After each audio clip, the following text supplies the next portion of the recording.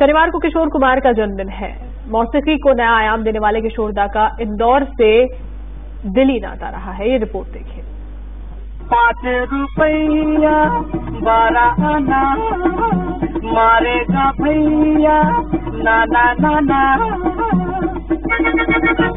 पाँच रुपया बारह आना ये वो रकम है जो हर दिल अज़ीज़ फनकार किशोर कुमार ताउम्र नहीं भूले। दरअसल किशोर कुमार और उनके छोटे भाई अनूप कुमार दोनों ही इंदौर के कृष्ण कॉलेज के हॉस्टल में रहते थे क्या है जवानी मांगो ना।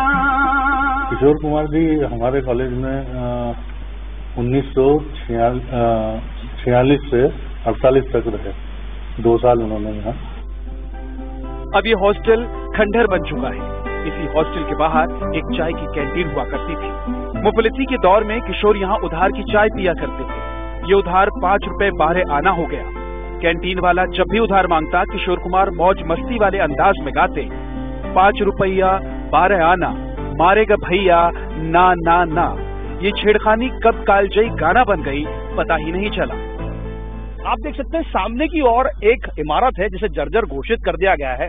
दरअसल इस इमारत के कमरा नंबर दो में किशोर कुमार यहाँ पर रहा करते थे, अपने भाई भाई के साथ रहा करते थे। और यहीं से किशोर कुमार की जो अदाकारी है, जो संगीत की दुनिया में उन्होंने पैर जमाया, उसकी शुरुआत हुई थी। दरअसल किशोर की एक खास बात ये थी कि वो जितने समय इंदौर के क्रिश्चियन कॉलेज में रहे, संगीत से उनका वास्ता तो रहा, लेकिन पर्दे के सामने किशोर कुमार कभी भी नहीं आए। एक बड़ी बात थी। लेकिन उनके अंदर का जो एक एक संगीत का हुनर था, जो एक अदाकार का हुनर था, वो लगातार फूट रहा था। कहीं ना कहीं उसे एक मुकाम चाहिए था। शायद आपने भी वो गाना सुना होगा, पाँच रुपया बारह आना। मारेगा भैया, नाना नाना। ये गाना जो है, उसकी इजाद इसी क्रिश्चियन कॉलेज से हुई है। ऐसा बताया जाता है कि क्रिश्चियन कॉलेज में कैंटीन में किशोर कुमार का पाँच रुपये बारह आना आज भी बाकी है।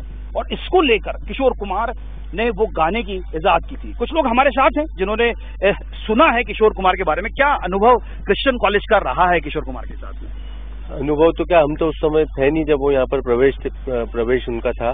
पर चूँकि उसके बाद जब हमने देखा कि वो आज इतने बड़े गायक हैं और इतना उन्होंने नाम करा तो हम हर साल उनका जन्मदिन मनाते हैं, उनकी याद ताज़ा करते हैं। हमारे यहाँ भी एक से एक गायक है जो हम उनको याद करते हैं। किशोर कुमार की याद में इंदौर के क्रिश्चियन कॉलेज में हर साल आयोजन रखा जाता है और उन्हें चाहने वाले उनका जन्मदिन जोशो खरोश के साथ मनाते हैं। किशोर कुमार का इंदौर से दिल्ली नाता रहा। इंदौर के क्रिश्चियन कॉलेज के स्टेज पर उनके अंदर के गायक ने मुकम्मल रूप लिया। बताते हैं कि तब बेहद शर्मीले किशोर कुमार स्टेज शो के समय पर्दे के आगे नहीं, पर्दे के पीछे से गाना पसंद करते थे। स्टेज पर कोई शो चल रहा होता और किशोर पर्दे के पीछे से कभी किसी लड़की की तो कभी किसी लड़के की आवाज़ निकाल रही मस्खरापन उनके खून में था। क्रिश्चियन कॉलेज के स्टेज से शुरू हुआ ये सफ़र। गायक, संगीतकार, अभिनेता, निर्माता लेखक जैसे अलग अलग किरदारों में ढलता गया। सही बात तो है कि इंदौर कृष्ण महाविद्यालय के वह गौरव हैं और वो पूर्व छात्र हैं। इसके माध्यम से हम सब क्रिश्चियन कॉलेज के पूर्व छात्र, वर्तमान छात्रों का लगाव है, विशेष। क्योंकि वो विश्व प्रसिद्ध हैं, पार्श्व गायक रहे हैं, अभिनेता भी रहे हैं, अपने छाप छोड़ गए हैं। क्रिश्चियन कॉलेज का हर छात्र अपने आप में किशोर कुमारी देखता है अपने आप को। बहरहाल, दिलचस्प बात तो ये है कि अमीर गायक होने के बाद भी किशोर ने कभी उस कैंटीन वाले को पाँच रुपया बारह आना नहीं चुकाया। कई कीमती तोहफे दिए, लेकिन अपनी मस्ती नहीं छोड़ी। जब भी आते, कैंटीन वाले को छेड़े बिना नहीं जाते। एक अलग ही सकून मिलता है जब इस इस पेड़ के नीचे खड़े होते हैं। ऐसा लगता है कि संगीत का एक सम्राट, जिसने अपनी शफा को यहाँ पर एक साथ साझा किया। उसकी शफा कहीं ना कहीं इस पेड़ की दरख्तों से और इस पेड़ के अस्तित्व से झलकती दिखाई पड़ती है। ये माहौल ही किशोर नुमा हो जाता है जब किशोर का जन्मदिन होता है। और किशोर का जन्मदिन सदिया याद रख सकती हैं क्योंकि किशोर ने संगीत की दुनिया में वो कर दिखाया है जो शायद आने वाले कलाकारों के लिए किसी बड़ी चुनौती से कम ना होगा। वीडियो जर्नलिस्ट नीरज जावलिया के साथ आदित्य सिंह।